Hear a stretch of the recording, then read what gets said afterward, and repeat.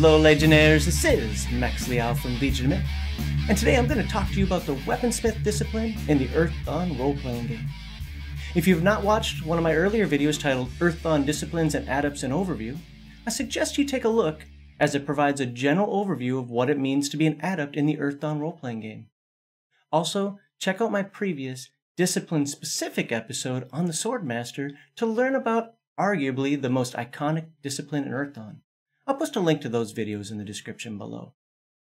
As indicated in previous videos, I will be discussing the Weaponsmith discipline primarily in terms of 4th edition Earthdawn. 4th edition is the most recent version of the game, and thus the most appropriate version to discuss. Where 4th edition information is lacking or where comparisons do need to be made, I'll revert to previous editions as needed, mostly 1st edition because it's what I know best.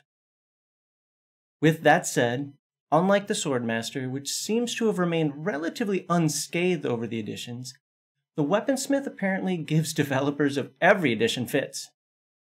The Weaponsmith of each edition of Earthdawn is quite different than the Weaponsmith that preceded it.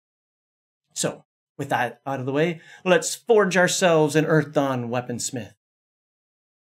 Let's start with the background and worldview of the Weaponsmith. So what is the Earthdawn Weaponsmith? I mean, right off the bat, we can pretty much be assured that it's someone who shapes metal into weapons, right?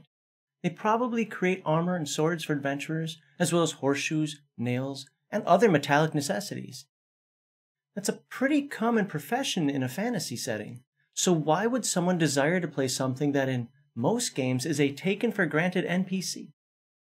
To understand the weaponsmith's role in an adventuring group, we must first understand who the weaponsmith adept is and what makes this a discipline, vice a mere profession. Let's start at the core of the weaponsmith community. The weaponsmith truly wants to better the community in which he lives, and the magic that empowers the weaponsmith's abilities stems from this desire. I liken them to the adage give a man a fish, feed him for a day. Teach a man to fish, feed him for a lifetime. The weaponsmith is both teacher and toolmaker. Nothing makes a weaponsmith happier than to help others, to forge the bonds of community, and provide the services necessary to ensure the community and the tools the community uses are in good working order, to make the lives of everyone simpler and more comfortable. Weaponsmiths may not have the troubadour's gift of storytelling, the swordmaster's style, or the illusionist's flair. However, more than any other discipline, weaponsmiths are of the people.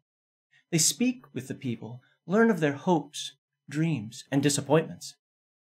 Weaponsmiths form their own communities or guilds called forges. Every major city includes at least one forge of five or more members with two elders per five members. The bond of the members of a forge is as strong as any family. Any forge member who shows up in need will be helped by the other forge adepts in any way they can. Forges also serve as meeting places, schools for apprentices, and even common areas for the people of the community. When more than one forge exists in a city, they try not to compete with each other, often specializing in one application of the, of the discipline or another. On a more personal level, weaponsmiths are completely committed to everything they do. They are continually finding ways to improve not only the community, but themselves in an effort to forge and temper a better tool, person, and life for all. Weaponsmiths also love knowledge, and many will spend an incredible amount of time researching and looking for items of legend. A weaponsmith stays true to his tasks, goals, and word, and will find ways to complete them. A weaponsmith's word is as good as true orichalcum. A promise is forged, not made, and cannot be broken or ignored. The Battle of Wills isn't just a battle against magic and horrors, but an internal one to remain true to oneself, keep one's word, and see all tasks to their natural conclusion. Anecdotally, and this is based on experience, please understand this doesn't mean the weaponsmith cannot ask for assistance. Au contraire, mon ami. If assistance is required to complete a task, a weaponsmith will not hesitate to ask for assistance. If not presented clearly enough previously, weaponsmiths also happily provide assistance, as long as the effort provides true benefit, preferably long term benefit, to the world around them. It's an unfortunate truth that most youth tend toward the swordmaster and warrior disciplines over the weaponsmith, due to the obvious sense of heroism, flash, and action the other disciplines embody. You don't hear nearly as many songs sung of the weaponsmith who forged the blade the warrior used, or how the weaponsmith's forged flesh talent prevented the same warrior from being pierced by a horror's cursed talon. Those who become eventual weaponsmiths usually do so by helping out at the forge for a little extra cash. If the name giver's back, arms, and mental fortitude agree, and she has spent some months at the forge, she may be offered to learn more advanced techniques. At this point, a forge adept will adopt the worker and start the apprenticeship. A weaponsmith's work cannot be of shoddy nature, as that is an insult to both the metal and to the mentor. As such, weaponsmith, mentor, weaponsmith mentors are quick to criticize, but slow to praise. As the initiate hammers out countless horseshoes, nails, picks, and shovels of exacting quality with little waste. Not only is the body tempered at the forge during the day, the mind is equally galvanized during the nighttime. The initiate learns about the history and techniques of past weapons and weaponsmiths, as well as the various aspects and nuances of metalworking. After approximately six to eight months of apprenticeship, the initiate and his work are judged by the forge elders. The initiate typically makes something like a dagger, shows off some historical weapon or weaponsmith knowledge, and in my games, I also require them to show some sort of civil service or community support. All right, so here's a quick blurb about the Weaponsmith's Heartblade. I didn't know where to put this in the video, so I'm not going to say too much about the Heartblade, simply because I don't know how 4th edition plans to handle this, if at all. I will say that crafting a Heartblade is arguably the single most important task a weaponsmith ever sets for herself. Though to be clear, she may only begin crafting after receiving permission from the Forge Elders.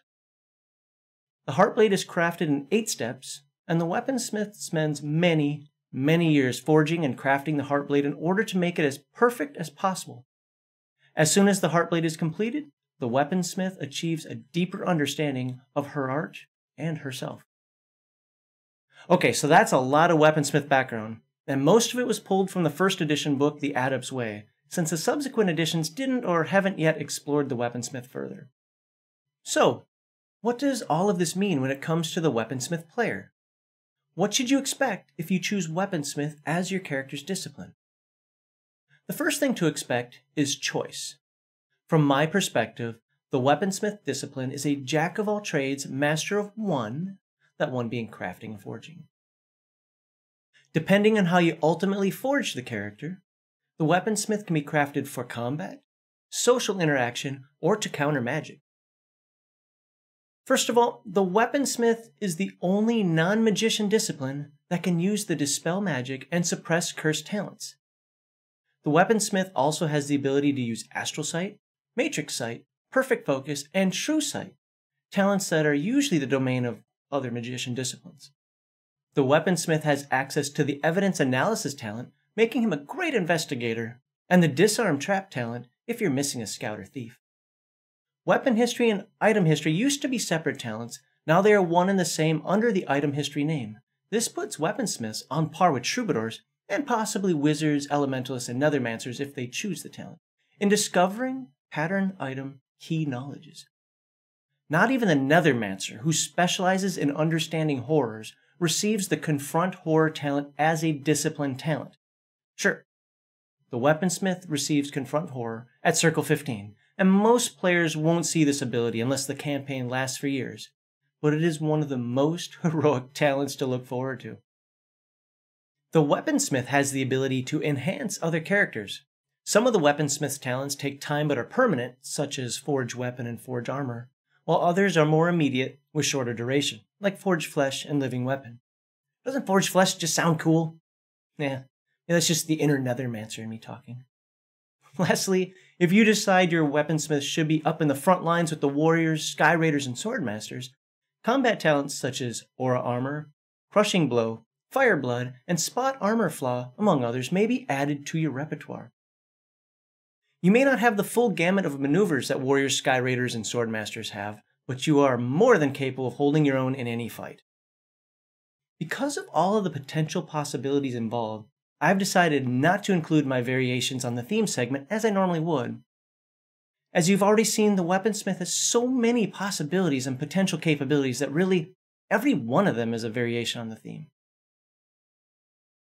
In Earthdawn, half magic represents discipline pertinent knowledge a character knows and abilities a character can perform simply by being an adept of the discipline.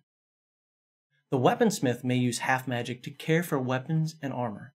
She may also use half magic to recognize different types of weapons and armor used or worn by different name giver races or their creators. I'm not going to talk about multi-discipline combinations, their advantages, and their effects, but I will mention that when taking on a second discipline, the weaponsmith leads towards the warrior for its determination, the archer for its devotion to craft, and even the nethermancer, again for its determination in the face of persecution. On the other hand, weaponsmiths usually refrain from the swordmaster's excessive showiness, as well as the thief's perceived laziness and antipathy to community. So back to our earlier question. With so many possibilities, I once again ask, what separates the weaponsmith discipline from a mere profession? Well, let's look at the discipline violations for a potential answer. Remember from my overview video that disciplines are not character classes, professions, or archetypes. They are lifestyles. And while the personal vision of each adept may differ, there are some foundations that must remain. Violating one's personal vision within a discipline may cause a talent crisis. A talent crisis is when the player character loses steps and thus action dice when trying to use talents, effectively cutting the PC off from the discipline. So keep that in mind whenever you're role playing a weaponsmith. Now, I have to say that there are seemingly a ton of discipline violation examples for the weaponsmith, provided in the first edition's The Adept's Way. However, in truth, most of them are redundant or escalations of previous examples, so I will quickly attempt to oversimplify those examples to these three concepts integrity first, service before self, and excellence in all you do. Yes, I just stole that from the United States Air Force's core values aim high, air power. now, keeping those core values in mind, let's word this a little differently. A weaponsmith must consider forge, community, and companions first. As such, a weaponsmith may not disrespect, steal or withhold from, lie to, or betray the forge, the community, or his companions. May not take unfair advantage of or fail to pay appropriate dues. Oftentimes, this is in the form of foraging, foraging, not foraging, or crafting services and may never abandon or show cowardness if the means to assist exists. On a more individual level, a weaponsmith's word is his bond. Additionally, they set tough but attainable personal goals and objectives and expect to meet them. Lastly, weaponsmiths always use and care for weapons and tools properly. They do not destroy weapons, especially those from before the Scourge or that are of legendary significance. So while the discipline is arguably one of the most diverse in terms of talents and personalities, there is still a general code of conduct to which a disciplined weaponsmith must adhere, or risk anything from a small and temporary up to a large and persistent penalty to his craft. All right, let's talk a tiny bit about enchanting. I'm not going to get into the game mechanics side of enchanting in this video. If you feel a game mechanics oriented video on crafting and enchanting is warranted, please let me know in the comments below and I can work to create one in the future. With the sole exception being the soup to nuts crafting of a full suit of plate armor, from the iron ingot stage all the way through to tightening the last strap on a troll warrior, I think the rules provided in the player's guide and the Earthdawn Companion are very clear about how to upgrade and enchant weapons and armor. I don't know the answers to why weapons and armor creation rules are not provided, but some of that may just be up to the players and game masters to work out within their own groups. In my research for this video, there was no actual historical consensus for how long it takes to craft mail or plate armor. So many factors are involved that any answer I give you now here can be argued and countered by another. With that said, Let's discuss a few of the enchanting abilities to which weaponsmiths have access. First, alchemy is a skill, so anybody can learn it. A skill that can be used to create blood charms, common magic items, and consumables such as healing aids, potions, and similar items. Enchanting, accomplished via the Talent Knack system provided in the 4th edition Earthdawn Companion, is related to the more powerful items with thread magic. Specifically, the weaponsmith may learn the following talent knacks based on her rank in the thread smithing, thread weaving talent. At rank 5, the weaponsmith may learn handle elements, as well as craft true pattern. At rank 8, she has access to design enchanting pattern. While finally at rank 10, she may create orichalcum from the other true elements. Alright, with that said, I need to segue. At this point in the video, I'm going to start injecting a lot of opinion regarding my issues with the 4th edition weaponsmith. This will not be a regular feature of these videos. I'm only doing this for a select minority of disciplines, such as the thief, where I feel egregious oversights or errors were made. To be clear, I do not believe all of these problems are singularly tied to 4th edition. As I stated previously, the weaponsmith has seen major changes in every edition of the game.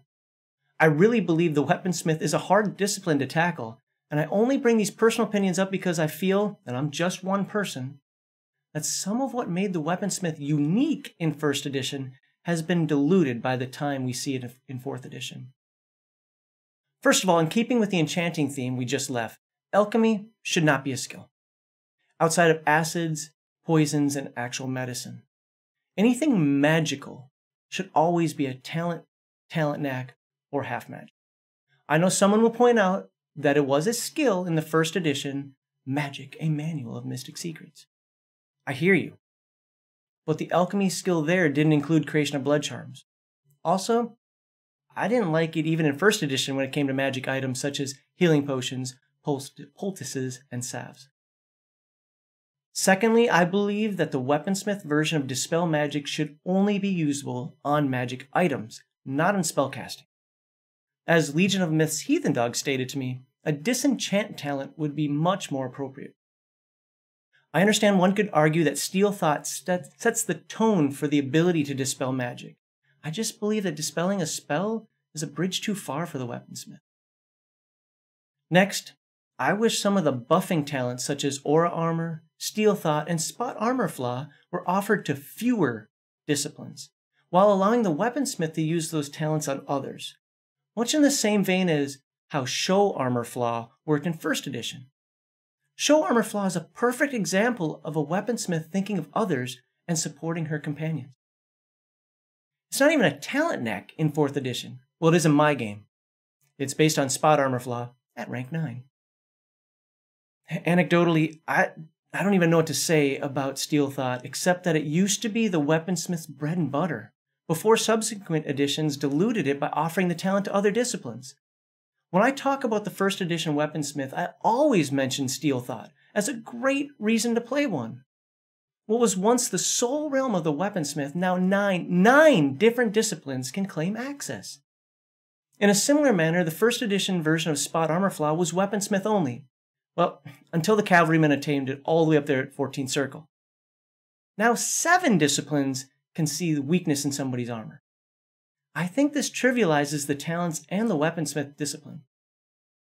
On another note, I think it would be more appropriate to bring back the weapon history talent for the weaponsmith, vice the homogenized item history talent of today.